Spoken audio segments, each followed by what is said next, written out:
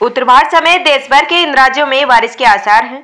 मौसम विभाग के मुताबिक ताज़ा पश्चिमी क्षोभ शीघ्र ही आने वाला है और बारिश और बर्फबारी के भी आसार हैं। 18 फरवरी की शाम को पश्चिमी हिमालय क्षेत्र पर एक और मज़बूत ताज़ा पश्चिमी क्षोभ आने की उम्मीद है और यह पश्चिमी क्षोभ 22 फरवरी तक पहाड़ी राज्यों को प्रभावित करता रहेगा। जम्मू और कश्मीर में सबसे ज़्यादा गतिविधियाँ होंगी। के बाद हिमाचल प्रदेश और उत्तराखंड में भी गतिविधियाँ होने की संभावना है। मौजूदा पश्चिमी विक्षोभ जो कि हल्का है और ज़्यादातर जम्मू कश्मीर और लद्दाख के ऊंचाई वाले इलाकों को ही प्रभावित कर रहा है।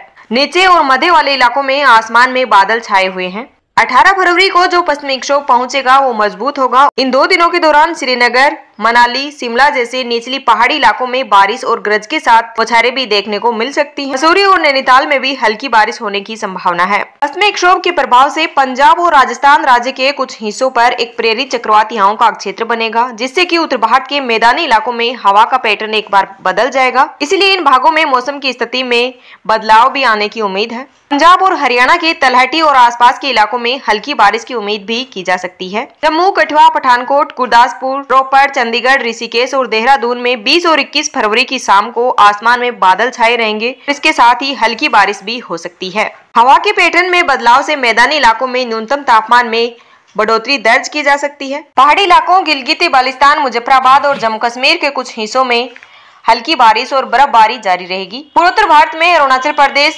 पूर्वी असम राज्य और अंडमान और निकोबार द्वीप समूह के दक्षिणी हिस्सों में हल्की बारिश की उम्मीद है। बाकी देश के उत्तर पश्चिमी और मध्य भागों में दिन और रात के तापमान में और भी बढ़ोतरी हो सकती है। वही तेईस फरवरी ऐसी एक और सिस्टम आने की संभावना है, जिसके चलते भी पहाड़ी राज्यों में फरवरी के महीने में बारिश और बर्फबारी लगातार जारी रहेगी।